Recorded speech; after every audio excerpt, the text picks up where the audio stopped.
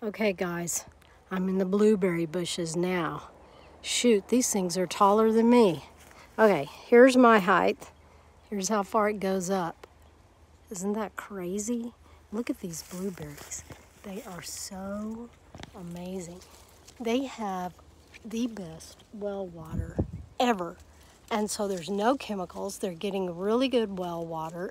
When they water, mostly they're just watered by the, the rain. And we're out here way out in the country. This is about two hour drive from, see some of them aren't quite ready yet.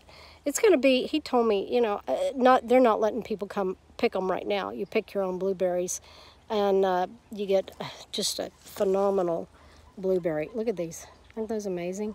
Anyway, he said they're about probably a couple more weeks, two or three more weeks before they're really in season. See, most of them are real green. See, there's, there's actually four colors of a blueberry before you pick it, before it turns blue. It's red, green, red, and then purple, and then blue. So when they're this color, they're good to go. Molly's disgusted. She says, I've had enough of this, Mom. I'm ready to go. Anyway, uh, we're we're going to stay until it gets dark, and we may spend the night in Rainy tonight my van lifer white rainy van. Okay, look at this. Oh my goodness, they're just rows and rows and rows. It's really kind of um, uh, needing to be pruned out here. The rows are getting overtaken and it's kind of hard to pull my wagon through here, but it still works. Okay, so I put the, the blackberries up. There's my blueberry basket. I got one to fill up and one I'm filling up. So, yeah, this is, now look, there's a little hole there where I could go through and, oops, some just fell off. Okay. Ah. Ah. Okay. The, the fellas over there, Dr. Wallace and Catfish, were trying to get me all riled up about the snakes here in Texas. I said, well, there's not any poisonous, poisonous ones. Oh, yeah, there is. I said, yeah, well, they love me. I, I see them, and they just usually just scurry on about their way. They don't bother me. And typically, this isn't where they hang out. So, but you never know. You might find one. Usually they're over there not too far by the little pond, the lake area. They got about three ponds out here. This is an amazing place come pick blueberries. They do sell to some of the local grocers. I believe he sells some to Whole Foods because they're organic and they don't use any chemicals whatsoever. I'm not uh, telling you you should come here. In fact, I hope you don't so there's more blueberries for me. Ha ha ha ha. Just kidding. Um, so anyway, there's the anyway word. That's my favorite filler word, I guess. So what are the medicinal Values of blueberries. Well, call Dr. Blueberry. He'll tell you. There's all kinds of benefits from blueberries. The darker the berry, the, the better it is for you.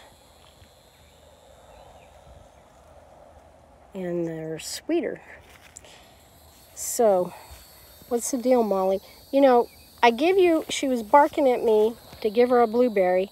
I give her a blueberry. Now she plays with them she crunches them up and she doesn't eat them. I told her, if you're not, see, there she goes. Nope, yep. If you're not going to eat them, don't play with them. Okay, well, I'm going to get to blueberry picking, and I love this. It's outdoor. Listen, you can hear the birds.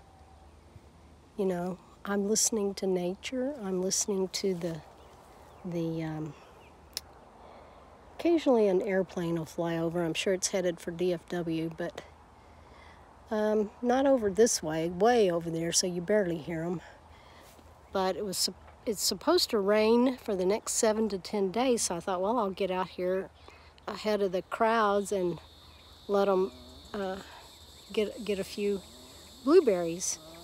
So, but I'm finding out, see, there are not really that many available yet.